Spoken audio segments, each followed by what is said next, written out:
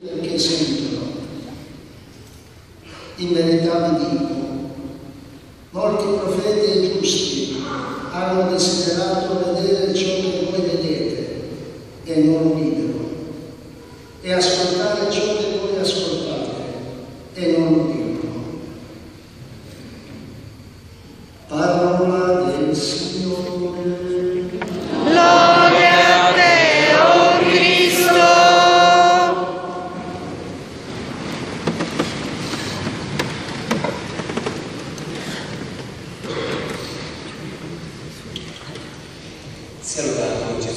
Ora e sempre sia lodato. Beati i vostri occhi, perché vedono c'è il Signore e i vostri orecchi perché sentono. Cosa siamo chiamati a vedere, cosa siamo chiamati ad ascoltare o udire, se non nella parola del Signore e a scoprire ogni giorno i miracoli della sua bontà, della sua misericordia nella nostra vita. Più e più volte il Signore ci fa sperimentare la sua fedeltà, ci fa sperimentare come Egli, che è il Dio buono e giusto, non fa mancare mai la sua presenza discreta, silenziosa nella nostra vita.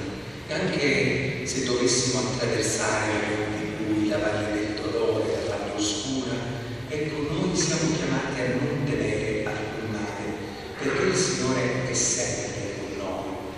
E benché i nostri occhi non possano vedere fisicamente, tangibilmente, sensibilmente il suo volto, noi siamo chiamati a vedere la presenza di Dio, cioè a fare esperienza di quel Dio ricco di amore, bontà e misericordia che non manca di offrire la sua tenerezza, la sua dolce carezza del cuore su ciascuno di noi verso le nostre necessità, i nostri bisogni e ciò che talvolta taglia la nostra vita e ci fa perdere a volte quell'orientamento.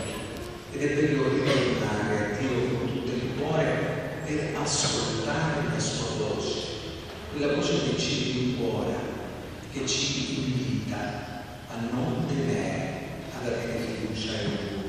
Molti profeti giusti hanno desiderato vedere ciò che voi vedete, dice il Signore. Talvolta nella nostra vita noi vorremmo vedere quasi dei segni incontrovertibili di una presenza che zittisca quanti magari parlano a sproposito. E talvolta saremmo tentati di dire al Signore, Signore, se tu compissi un miracolo, un segno, dove tutti possano vedere, tutti possano in maniera tangibile avere contezza della tua presenza, avere la certezza che tu ci sei, penso che il problema della fede si risolverebbe immediatamente all'istante. Gesù ci invita ad avere fede al di là di ciò che noi vediamo. Si conclude il Vangelo e una delle ultime espressioni sulla bocca di Gesù che ci narrano gli evangelisti, in modo particolare è quell'espressione beata quelli che pur non avendo visto crederanno. E allora, al di là di chiedere qualche segno da vedere, vogliamo chiedere al Signore una fede a tutta prova, che possiamo realmente essere di quei credenti che sono anche credibili nella testimonianza della carità, perché hanno fatto esperienza viva di un Dio vivo, al di là di ciò che i nostri occhi vedono o possono ancora non aver visto. Beati quelli che pur non avendo ancora visto continueranno a credere. Ed è questo il grido che il Signore oggi rivolge in maniera silenziosa al nostro cuore, perché si svegli, perché possiamo aprire gli occhi del nostro cuore e possiamo fare esperienza di quel Dio che ci invita a continuare a credere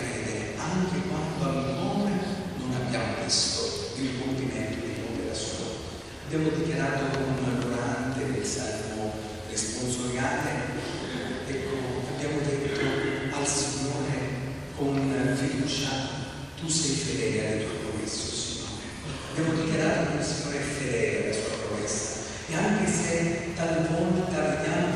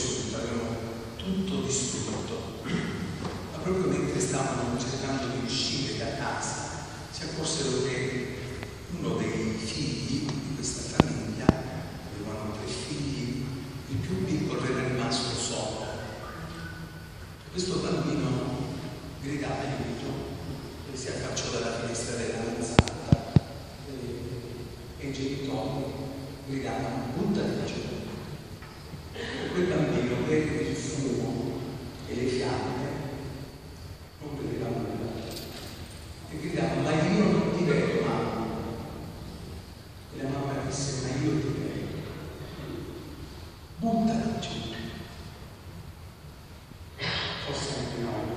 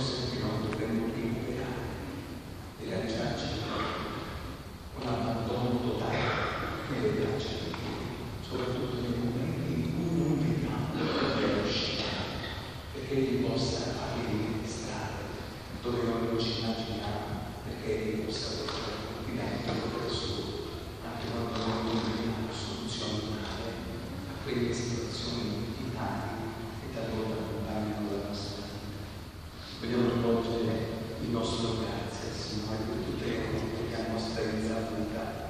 Ci ha abbracciato, ci ha tolto nelle braccia, ci ha tolto le spalle, ci per il mio ha